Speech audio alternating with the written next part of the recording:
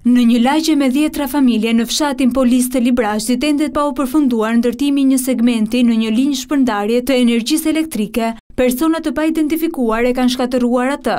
Sipas banorëve, keqbërësit kanë shkatërruar dhe rrëzuar përtokë shumicën prej 17 shtyllave të linjës së re elektrike, vetëm një ditë para se e gjithë puna për linjën elektrike të përfundonte.